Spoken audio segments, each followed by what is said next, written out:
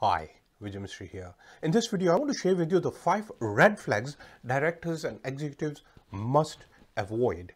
Now, this is a common question which I keep on getting that what are some of the bottlenecks or what are some of the actions that we as directors and executives undertake which can hamper the growth of organizations. So I've just selected five for now. I know there are very many others, but for now I've just selected these five which I believe will help you and make a profound impact in your organization. So let's deep dive straight into these five red flags directors and executives must avoid. The first and foremost is assumptions. Now, my dear friends, look, assumptions is good. You need to take into account assumptions. But at the end of the day, you have to make sure that you get facts in place. Now, the problem here is, is that some organizations which I've come across, they are taking more assumptions and not really looking into facts. Let me give you an example. There was a service industry some years ago and it posted very good profits and the next milestone they wanted to achieve, what happened is they did not take certain facts into account, certain external conditions because they were going to a different territory. They did not look into the political environment and certain regulatory uh, issues which would impact that particular project they were undertaking. And uh, eventually that resulted in them eroding a lot of capital. So my point here is, is that you must make sure that you have enough facts externally, internally. What is it that you can really do to ensure that you've got enough uh, evidence and enough information so that you have a heightened level of confidence whenever you're making those effective decisions. In my opinion, 60, 70, 80% of facts is fine. 20% or 30% you can go with your gut making sure that all directors perception and feelings are taken into consideration. That is going to make a profound impact in the growth of your organization. Let's move straight to the next point which is wrap up. What do i mean by wrap up? Look as a corporate coach non-executive director executive director i have noticed that in some instances what happens is is that board members are not fully prepared. By wrap up what i mean is is that they are unprepared when they come to the uh, meeting itself. Now here's what happens. The board documents being sent are actually not sent on a timely basis. That is the first problem. That is when we look at the root cause problem one of the key problems is is that they do not have that uh, time to prepare. That is one side of it. But the second bit is the level of immersion, the level of understanding, the level of capturing the information to ensure that whatever's in discussion is properly brought on the table. And, and this is a key problem which I've noticed in some organizations. So make sure that you are extremely prepared depending on the size complexity uh, and the industry in which you are in you need to make sure that everything that is being discussed is properly taken into consideration. Because at the end of the day when you enter the boardroom and again it doesn't matter whether you're a small medium or large organization you need to be well prepared to ask the right questions which is going to make an impact to the overall health and growth of your organization. So make sure that you are prepared. Just like someone said that chance favors the prepared mind. You need to be prepared and make sure that whenever you are taking those choices or whenever you're contributing to the choices, you put your 100% in that particular decision making process. Let's move forward to the third point, which is value point. What do I mean by value point? Here, let me give you an example again. There was this manufacturing organization and I was a non-executive director and a corporate coach for this organization.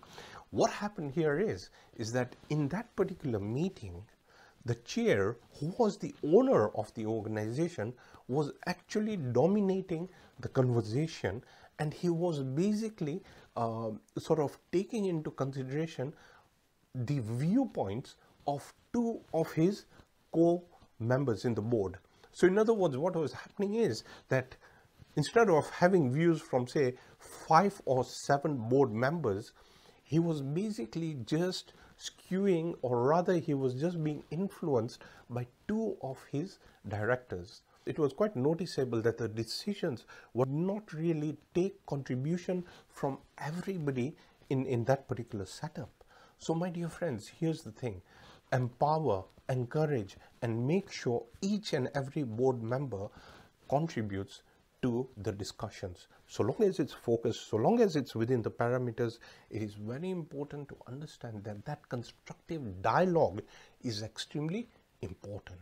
Let's move forward to the next point, which is energy drains. Now, my dear friends, this is a big one. When do you have energy drains? You will have energy drains when the discussions are on mainly historical information. I've noticed in organizations, and again, I'm referring to mid-sized organizations here. What happened is in one particular meeting, the managing director tells me that isn't this really powerful, the management meetings they are having. And I told him, what about the future forecasts and the interpretations relevant to the outside conditions? And I said, how do you connect and craft towards the vision of your organization and link it to operational activities. So the problem here is it's good to go through management reports and all that, which is pretty important. But the distinction between that macro level or the governance aspect or that long-term thinking has to be linked to the short-term activities.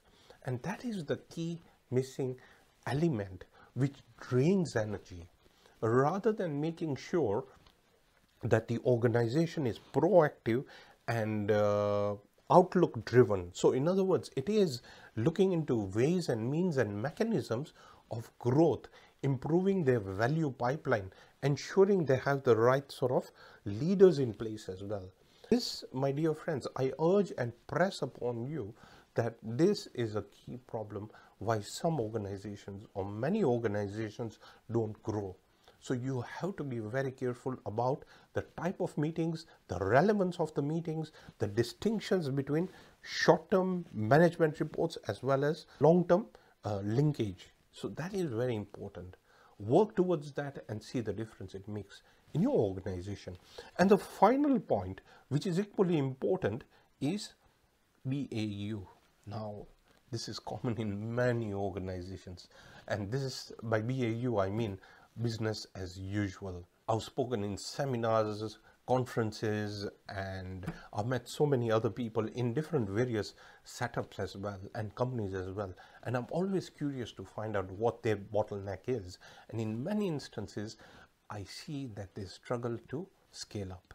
I see that they are stagnating. And what happens is it's always business as usual. Complacency kicks in, they are making profits. It's not that they are not making profits, but it's just passive mechanisms in place. That dynamism is missing and that progression path is missing. That the growth is not in parity to the growth of the external conditions. In other words, the markets outside in, in your industry could be growing faster than what you are growing. It is very important that every day, every single point, you must have that curiosity. You must see what is it that you can do to make an impact to the growth of your organization. Uh, one of the things that I do with the companies that I coach is that I tell them to focus on five. What do I mean by focus on five? Ask those five key questions which are power driven, which are all growth oriented, but with a brainstorming session which is going to really unfold and bring out new value drivers for your organization. There's so many questions and the questions have to be specific. For example, what are three specific things we can really do to increase our market share? And just use this amongst the directors and executives in your organizations and come up with points, come up with ideas and see if you can add traction.